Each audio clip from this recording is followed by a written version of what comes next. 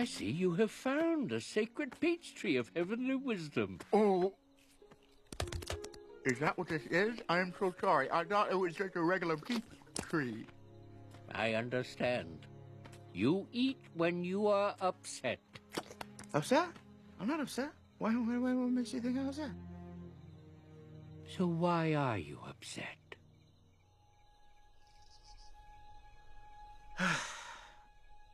I probably sucked more today than anyone in the history of Kung Fu, in the history of China, in the history of sucking.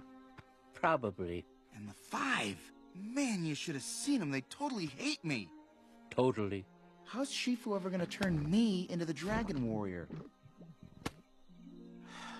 I mean, I'm not like the five. I've got no claws, no wings, no venom. Even Mantis has those thingies. Maybe I should just quit and go back to making noodles. Quit, don't quit. Noodles, don't noodles.